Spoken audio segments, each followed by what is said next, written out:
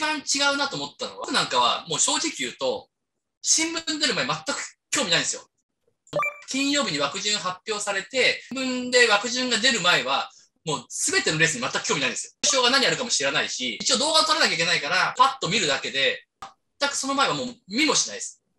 木曜日までは、毎週の全てのレースのを、あの、ビデオ見るだけで時間いっぱいなんで、32レースを平日見るだけでも手いっぱいなんで、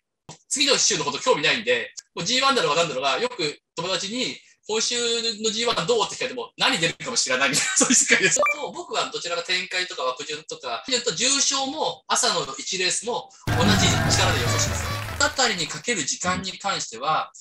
多分、えー、っと、もう2、30分なので、7レースから12レースの6レ,、えっと、6, 6レースと3乗、18レース。大体だから、まあ一レース30分ぐらいですかね、ラストね。ただね、面白くて、あの、ショート数とかで5分で終わるレースもあれば、1時間かかるレースもあるんですよね。